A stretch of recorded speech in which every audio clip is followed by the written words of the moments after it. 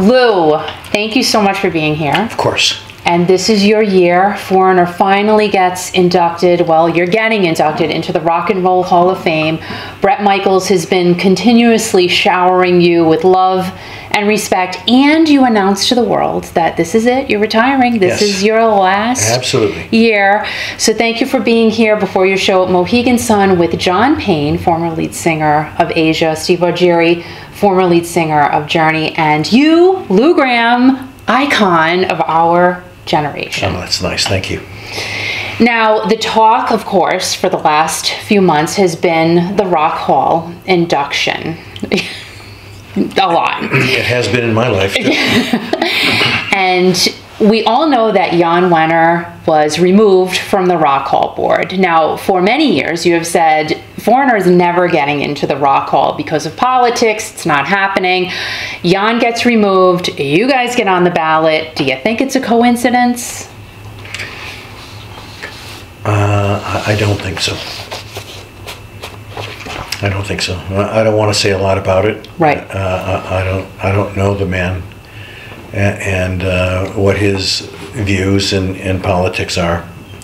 All I know is that that uh, I believe that Foreigner should have been in in the Rock Hall for a number of years ago with our contemporaries, and uh, it it seemed up until very recently that we were never going to be in the Rock Hall.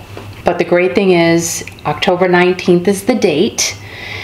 And another question on everyone's mind that we all keep asking and wanting to know is that have you spoken to Mick yet? I have not. You have not. Do you think it'll happen before or do you not? I don't know. I, I speak to um, Foreigner's manager and and uh, Phil Carson, and and, um, and I think it'll happen when it's supposed to happen. That's great. That's great. And I'm sure it, it- I, I just feel like it'll be good. It'll be Yeah, a good, think- I think- positive I think it will too. I think it will too. experience. Yeah. Now, Brett Michaels, you've been doing the Parti-Gras tours with him, which, how fun has that It's a been? lot, a lot of fun. He he he, he is a he is a great band. He's he's a very nice and personable guy, and, and I enjoy those shows a lot. Now, he has been your biggest advocate, your biggest fan of late. Now, have you guys done, when you were with Foreigner, did you do any shows with Poison? Because I don't recall that you did, or. Not not to my knowledge. I don't unless it was a big festival where there were six or seven groups. They might they you know we, we might have shared uh, uh, uh, a, a day uh, uh, on a live show, but but I, I don't. I think I would have recalled. Now, have you had some sit downs with Brett and he has said to you, listen, I love you because. Uh, yeah, we've had some sit downs. It, it, hasn't been anything like that, but but but uh, but but but uh, he, he's he's he, he's he's a genuinely nice guy, and and uh, he he treats me like gold, and uh, I, I enjoy the shows with playing with him and his band. They're they're. Uh, they're, they're they're they're awesome, and and uh, we always go away with big smiles, laughing and stuff. And, and his his audiences always have a certain certain uh, uh, uh, personality to them too, which which clicks with me. Right, because it, it feels like they're right there with you on that stage singing. Yes, High energy, Yep, and- which you and- like that. yeah, and and and Brett is fantastic. And he's getting you to the Rock Hall induction in style, he said. Well, he, he, he made an offer, but but um, uh, uh, I, I I I thought I was going to have a show the night before the Rock Hall, and, and he offered to fly me in his his personal jet, wh- which I thought was outrageous, How cool. and, and uh, uh, I was going to accept, and and we decided that that. Uh, um, I wanted to be in my best voice possible for the Rock Hall, so so we declined the show the, the, the night before, and, and I'm driving. Excellent. Yeah. Excellent. Well, you know you, and this is a big deal. It is. Now, way back near the beginning of your career, you were with a group called the Black Sheep. That's correct. Yep. And you recently did a reunion show with them. I think it was what number three in ten years. Yes, that's right. That's right. And Michael Bonafide, who owns the club where the reunion took place, it was, a actually- sold out show, it was right? Actually, an old theater uh, uh, that was built in the late 1800s. wow. That that he bought because they were ready to tear it down. He bought it and he he began to restore it, and it, it's a it's potentially a beautiful beautiful place. That's awesome. Now, what is it like going from, you know, working with such a huge band as Foreigner, doing your solo career? Now you're out doing your solo shows. You've been doing these for a long time. But then going back to your roots of Black Sheep and singing those songs to a sold out show. How was that for you? I loved it. Uh, I've got to be honest with you. I really loved it, uh, and uh, you know, it's it's most of the guys from from the original Black Sheep, uh, with a, with an exception of of, of um, Bruce Turgon, uh, our bass player, who, who couldn't make it. But uh, the the band band sounded. I mean, I mean, it gave me chills. It, it sounded to me just the way it used to sound. Oh, wow. Yep, and, and you know, th- those those songs. Uh, uh, there were some of them that were popular in, in the in the northeastern part of the country, but but um, uh, uh, the audience was singing along, and it, it was it was just like playing uh, Midnight Blue or something, you know. Yeah, I was reading that they didn't want you guys to stop. That's right. That's right. And and it was it was uh, we played two sold out shows in, in one night. Oh my gosh. Yep, and and uh, it was just awesome. It was just awesome, you know. Uh, um, and and we, you know, after after the show was over, we were hugging each other in the dressing room, and we promised that we're going to do this one more time. Great. You know, maybe in a year or two, and then we're going to put it to rest. But was it like, you know, old hat, just going back to those songs and they just came out of you? Yes, they did. That is so cool. Yeah, it was it was really great. We had one rehearsal the day before, and and uh, we ironed out a few bumps in the road, but but there was it wasn't anything that was uh, uh, really a problem, and and uh, just just getting back in the saddle. Yeah. And Bruce, as you mentioned, Bruce Turgon, he was your co-writer with you on your solo career. That's right. He, we, we we wrote a lot of the songs on the Black Sheep albums, and and uh, we co-wrote a lot of the songs on my solo albums. Now, Midnight Blue, my favorite. I've told you this so many times, but I, I love it. It is my favorite. What was the premise of that song, and where did the title come from? Um, I actually, at that point in my life, I had a, a little house in Westchester County, uh, the town of Katonah. And uh, it was an older house and had a small basement. And, and there was a little room in there where I set up my drum set. I set up uh, uh, electric piano and I had a small amp and a guitar in there. And, and uh, the, the, the idea of the song just, just came to me. And and uh, even though I knew it was a guitar song, um, such a poor guitar player that I figured out the chords on the electric piano. And I had a TX four-track tape recorder, and I recorded the I recorded the, the keyboards, and then I got on the drums and played the drums. That was two of the four tracks. Then the third track, I sang.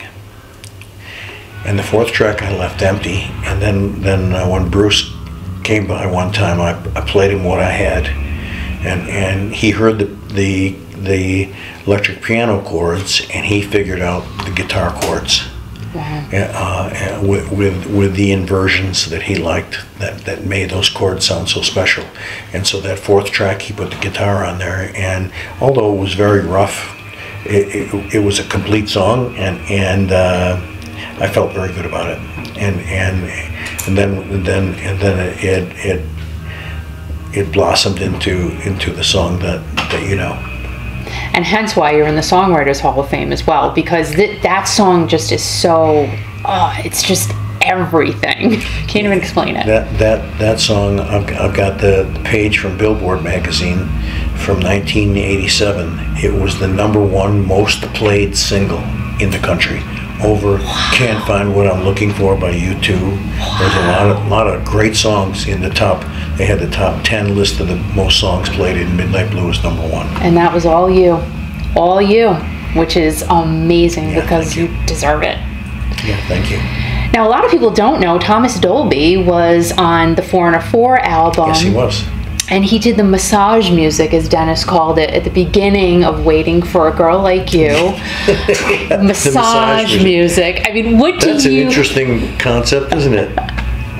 what do you remember about Thomas?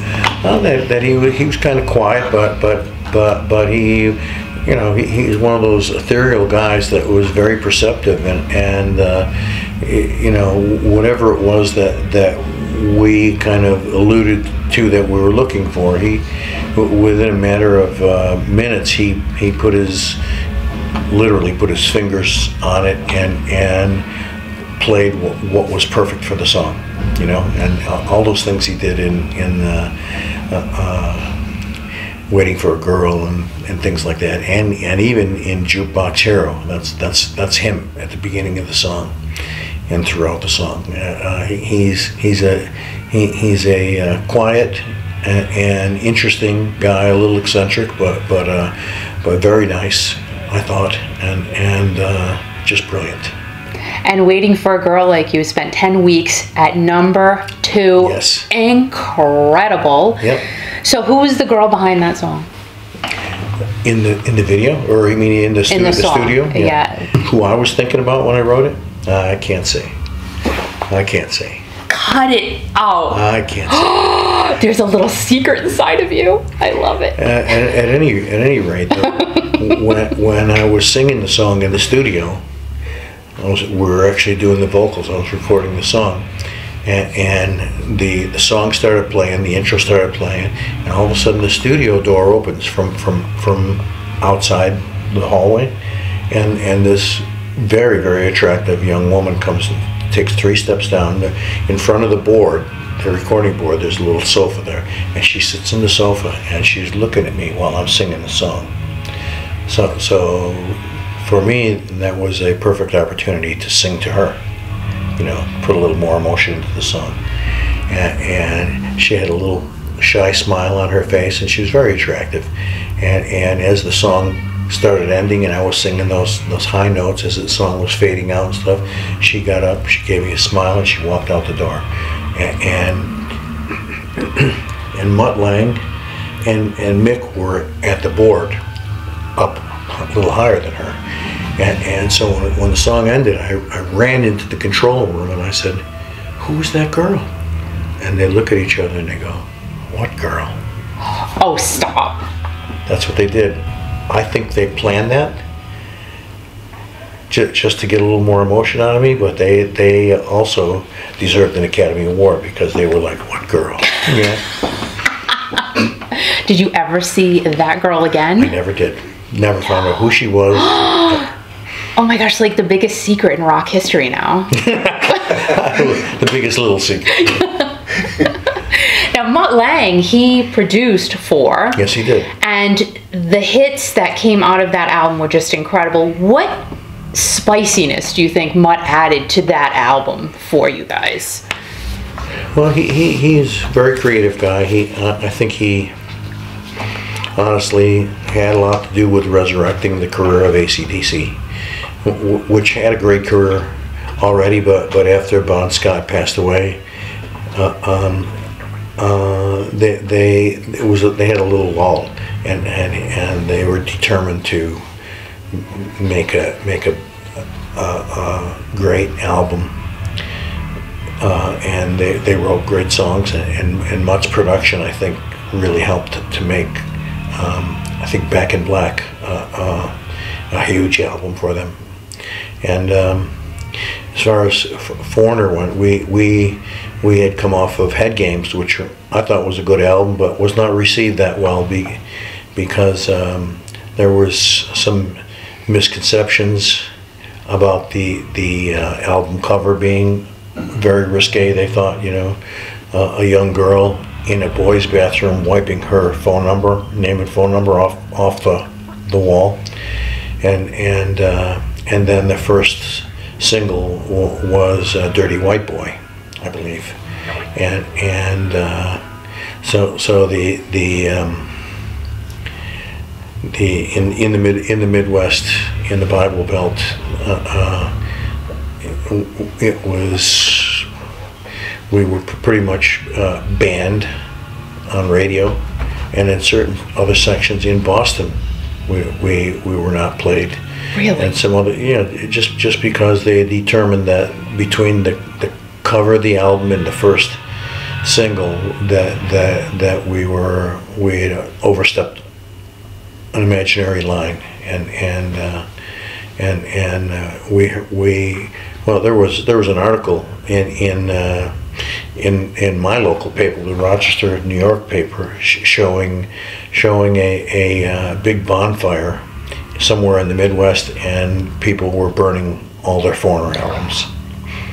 Oh my gosh. Yeah, uh, it- Shame on them. It, it was it was uh, so, far blown out of control, you know, uh, uh, and it it it, it put a, very negative slant on the band, and and uh, the tour didn't go as well as as the earlier tours, and and the sales of the album were were substantially off.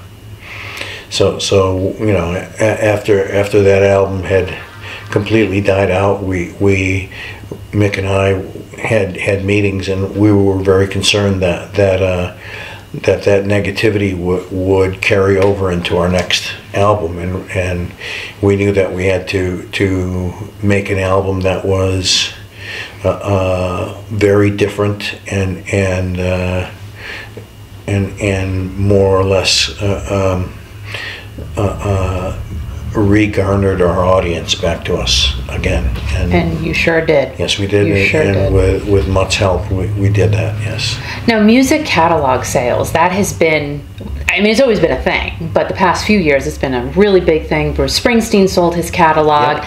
Rod Stewart, and now Queen records record selling catalog for 1.27 billion. Mm-hmm. Is this something you have considered? And Den- Dennis Elliott, he sold his portion of the catalog. So is there, you know, something you have been thinking about with regards to Um, that? Uh, it's crossed my mind, and, and I've had I've had uh, companies and people calling me asking me if I wanted to sell my my, my portion of the songs, and, and uh, I hadn't really thought about it that much, but but I have been thinking about it, and and um, I.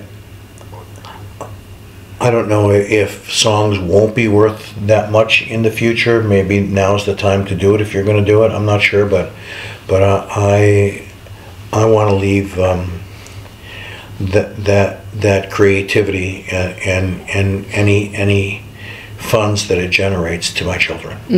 Absolutely. I mean, take it while the iron's hot, right? Yeah, You know? and and uh, you know that that's that's something that that that forever in their lives and their children's lives that that they they can remember their dead.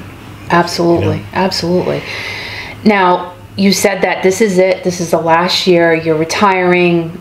You said this back in 2017, but it has to be hard to really make that decision to say, this is it. I'm not doing the road thing anymore. Is this for real this It, time? it is. It, it's you know I, I- still enjoy performing, but but but but it, it, you know being being that I'm not not not the kid I once was.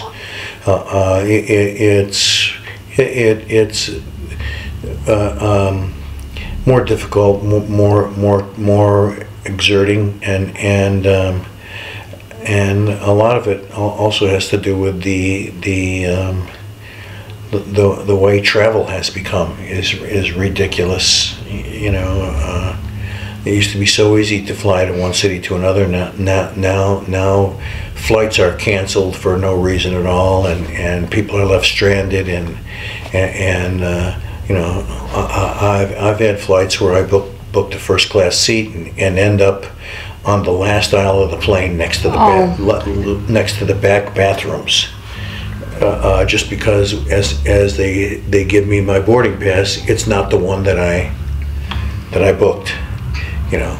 But it's either take that seat or or, or miss your flight and maybe miss a show, you know. Right.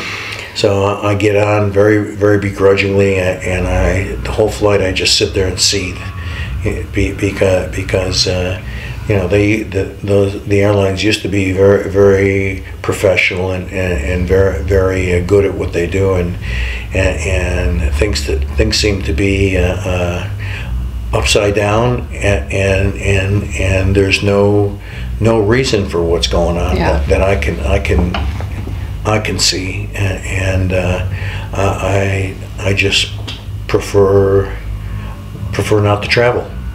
So, what will you do with all your free time? Obviously, not travel. I mean, uh, you know, I, I have a I have a small home in Florida that I, I get out of the Rochester winters. You know, and I go there for three four months, uh, and uh, I enjoy that. I fly there, but but uh, you know, I'll gr- grin and bear it. And it's not every flight; it's just every, every so often Yeah. that that kind of thing happens. But it's very very upsetting to me when that does. So so you know, I I, I have um, I'm I'm a classic car collector.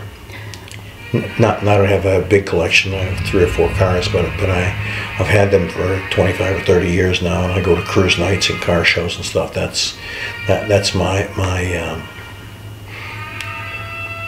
my uh, Outlet. uh, outlet, yes. yeah. And um, you know, I, I'm sure I'm still going to be writing songs and maybe recording, but I, I think I've just had enough of touring. Right. you know. Right. I- I've been doing this for almost 50 years now, and, and uh, that's a long time. Incredible. So, Lou, you have always spoken so highly of your parents, and they brought music into your Yes, they life. You've been through so much in your life positive. You've had your health scare. You know, now you're back, and people are in the audience. Lou, Lou, Lou. Like, they are just it's it's loving awesome. you. Gives me chills when I hear that. And now you're finally getting into the Rock and Roll Hall of Fame. What do you think your parents would say to you today if they were here?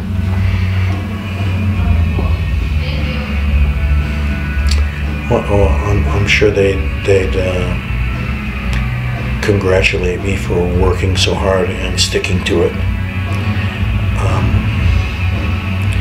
and uh, al- although I, I know when, when um, my, my life in music started to take off, that they, they insisted that I temper that with at least a two-year college degree, which, which I, I did I did get.